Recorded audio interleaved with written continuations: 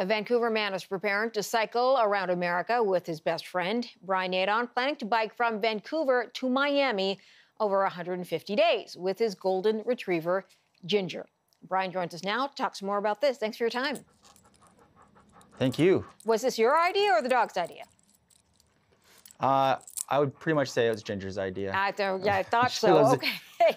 so you've actually, Brian, cycled across Canada already. Is that correct?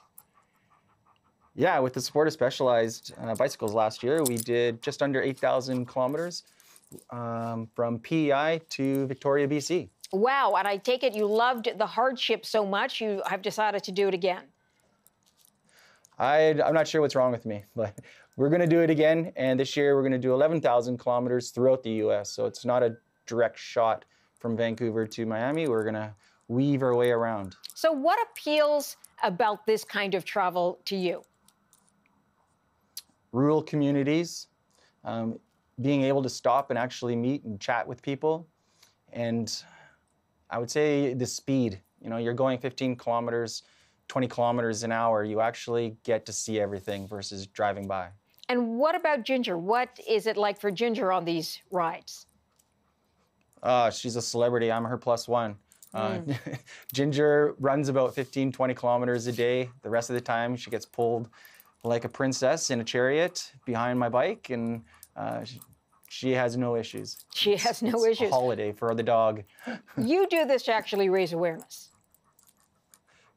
We're doing this to raise awareness for post-traumatic stress disorder, um, to help people realize that you know it's it's not a disorder, it's not a mental health issue, that it's just an injury, and we all sometimes need to take a little bit more time to recover from that injury. So, so how did you so get? It's all about. Yeah, how did you get into uh, deciding to bike in support of this?